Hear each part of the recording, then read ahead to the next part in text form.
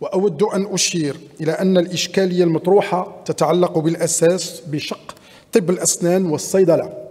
حيث يتجاوز عدد الطلبة العائدين من أوكرانيا القدرة الاستيعابية للكليات الوطنية المعنية.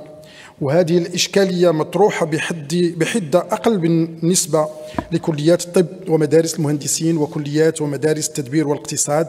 مع اتخاذ كافة التدابير الضرورية لضمان جودة التكوين. حاليا يتم تدارس كافة الحلول انطلاقا من المستجدات ذات الصلة بالموضوع خصوصا فيما يتعلق بإمكانية تتبع الطلبة لدراستهم عن بعد كما جاء في المذكرة التي عممتها الوزارة الأوكرانية للتعليم العالي مع إمكانية احتساب التداريب المنجزة بالمغرب داخل المؤسسات الصحية.